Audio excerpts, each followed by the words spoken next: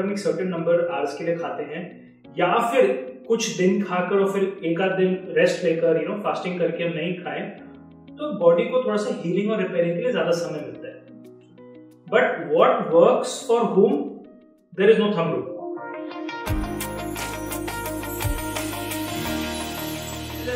this is Vidushi and you are watching the Good Health Show. And today we are going to talk about topic intermittent fasting and for that we have dietitian Raphamkar with us. Hello sir, how are you?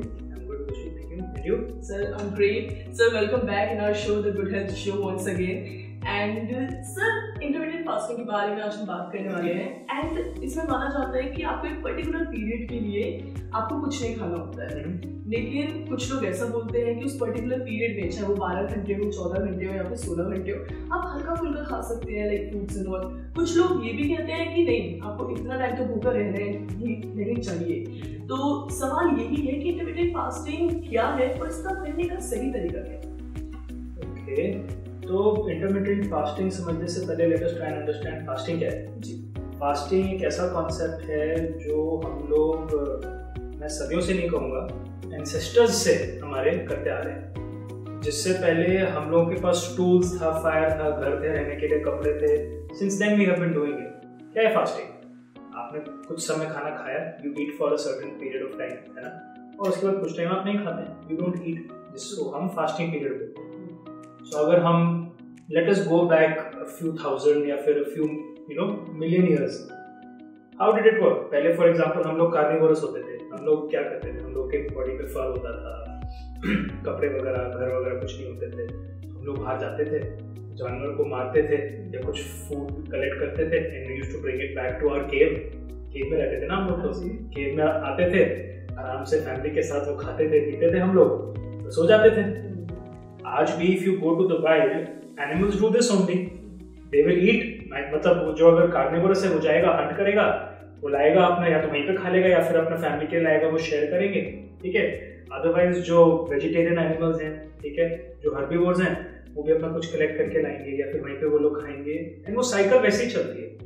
हम भी nature का ही part है। We are part of nature that we also have to either kill our food और either have to collect our food but first of all evolution ऐसा हुआ कि हम लोग कार्निवोर से, हमारा दांत का स्ट्रक्चर भी चेंज हो गया। हमने सब में स्कूल में बुक्स में देखा है। हम लोग जो हमारे एंसेस्टर्स थे शार्प टीथ होते थे। हम लोगों का डेंटल स्ट्रक्चर एकदम एक लायन और टाइगर और डॉग की तरह होता था। It's change so we are basically from basically hunters we became gatherers gatherers बोले तो वी कलेक्ट आवर फ़ूड अब कलेक्ट आप एनिमल्स को नहीं करते। कलेक्ट आप fruits vegetables seeds nuts grain ये सब करते हो तो पहली बात तो ये। तो we always ate for a little while and then we rested in today's time what has happen unfortunately is that हम लोग खाते रहते हैं। आप और मैं कहाँ पर हैं है ना? कॉलीग्स के साथ बैठे हैं चाय पी लिया कॉफ़ी पी लिया स्नैक्स खा लिए unfortunately we have access to so much of technology in media that at night when we are supposed to sleep मतलब even if you and I you know if we go back maybe 15 years or 20 years when we were younger our parents had a deadline और हम सो जाते थे at a certain point आज वो सोने का तो वो जो बैरियर है ठीक है वो जो लाइन हो क्रॉस हो चुकी है मतलब बच्चे तक भी नहीं सोते हैं। क्यों? क्योंकि एक्सेस है बहुत सारी चीज़ों को मीडिया एक्सेट्रा अब क्या होगा देखो if you are awake for a longer number of hours hence तरीके से जो फास्टिंग होनी चाहिए थी और जो सदियों से होती आ रही है, वो नहीं हो रही है। तो सबसे पहले तो कॉन्सेप्ट फास्टिंग का समझना ज़रूरी है कि it is important to fast because that is the time that the body gets rest and time to recover from all the abuse in the day खाना भी जब हम खाते हैं न्यूट्रिशन मिलता है उससे we nourish the body we get everything that we need but at the same time eating food regularly is also damaging for the body क्योंकि रेस्ट नहीं मिलता है बॉडी को so that's very very important fasting is very very important it's very important okay and uh, if we talk about intermittent fasting sir so intermittent fasting is a more modernize way of looking at fasting क्योंकि obviously research बहुत होती है the scientist are working very hard to understand कि हम अपनी body को कैसे और मैक्सिमाइज कर सकते हैं, अपने पोटेंशियल को, अपनी एफिशिएंसी को। मतलब देखो रिसर्च एक मेजर पार्ट और मेजर चंक टाइम का इसलिए जाता है साइंटिस्ट में कि ह्यूमन बॉडी को और बेटर कैसे बनाया जाए रोबोट कैसे बनाया जाए। ठीक है? एक्चुअली फैक्ट्स हैं, ठीक है? तो ये ये देखा गया है कि अगर हम एक सर्टेन नंबर आवर्स के लिए खाते हैं, या फिर कुछ दिन खाकर और फिर एक आध दिन रेस्ट लेकर यू नो फास्टिंग करके हम नहीं खाएँ तो बॉडी को थोड़ा सा हीलिंग और रिपेयरिंग के लिए ज़्यादा समय मिलता है।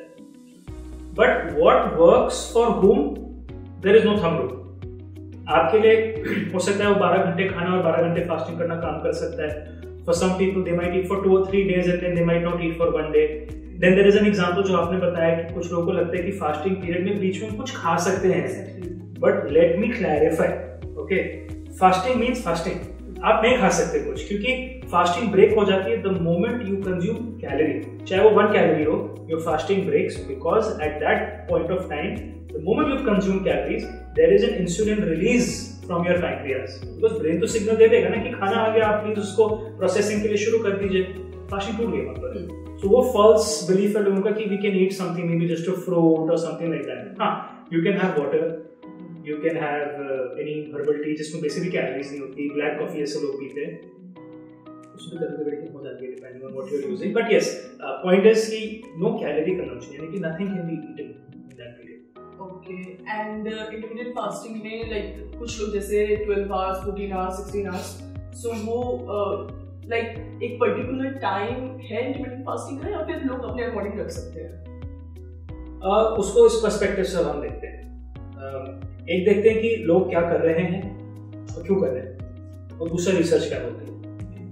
अब me being a science fellow हम तो रिसर्च के हिसाब से चले। ठीक है? अब आते हैं इंडिविजुअल का जो गोल है। Intermediate fasting is being practice today purely and purely to lose weight and वो बहुत कॉमन सेंस वाली चीज़ है। इसको आप इंटरमीडिएट फास्टिंग बोलो फास्टिंग बोलो या कैलोरी डेफिसिट बोलो, क्योंकि आपको जो खाने का विंडो है आप उसको कम कर दोगे। फॉर एग्ज़ाम्पल आप 12 घंटे के अंदर अपनी सारी मील्स खत्म करते हैं। सडनली आप उसको शॉर्ट करके आठ घंटे कर दें तो जितना आप ट्वेल्व आवर्स में खाते हैं, वो एट आवर्स में खाना फ़र्स्ट ऑफ़ ऑल डिफ़िकल्ट हो जाएगा, नहीं खा पाओगे आप। तो नेचुरली वो कैलोरी कंजम्पशन रिड्यूस हो गया। ओवरऑल डेली कैलोरी कंजम्पशन अगर गो डाउन होता है तो naturally you will lose weight but what is important is क्योंकि वो केस टू केस वेरी करता है। रिसर्च हमारा कहती है and this is research done by Japanese scientist I like to follow research is being done all over the globe क्योंकि देखो, ज़्यादातर रिसर्च इंटरनेट पे मिलती है डन बाय अमेरिकन क्योंकि सबसे ज़्यादा देखिए फंडिंग उनके पास है, सबसे ज़्यादा यू नो इन चीज़ों में अवेयर भी वही है, वो लोग एफर्ट्स करते हैं। बट हमारा डीएनए हमारा बॉडी टाइप डिफरेंट है। जो ईस्ट में रहते हैं जापानीज कोरियन चाइनीज़ उनका डिफरेंट है वेस्ट में जो रहते हैं, उनका डिफरेंट है। तो me as an expert I have to understand सबका रोल क्या है। सब डिफरेंट डीएनए सबका डिफरेंट जेनेटिक्स है, क्या है। तो उनका ये मानना है कि आप 12 से 14 घंटे कर लेते हो फास्टिंग वो इनफ है। ना 12 से कम रखिए, ना 14 से ऊपर जाने की ज़रूरत है। वो स्वीट स्पॉट कहते हैं ना जिसको, वो इनफ है। अब होगा क्या 12 से 14 घंटे आप फास्टिंग कर लेंगे। If you give yourself if you give your body enough time to heal and recover twelve to fourteen hours में आपको चाहे फैट लॉस करना है, चाहे आपको अपने शुगर लेवल्स कम करने हैं डायबिटीज़ के और you want to reverse your cholesterol problem your fatty liver issue automatically everything will start coming into place क्यों? क्योंकि एक चीज़ अकॉम्प्लिश हो गई है करने से, जो मैंने सबसे स्टार्टिंग में आपको बोला, जो नहीं हो पा रही है। डिसिप्लिन चला गया ना? एटलीस्ट वो डिसिप्लिन वापस आ जाता है. It's very important so there is not हम लोग कुछ लोग आपको मिलेंगे कि हम 16 घंटे फास्टिंग करते हैं और आठ घंटे खाते हैं but it's very different body में अलग अलग चेंजेस आते हैं। कुछ लोग कंफर्टेबल फील होता है some people feel very uncomfortable nausea वगैरह हो सकता है पेट दर्द बहुत कुछ हो सकता है।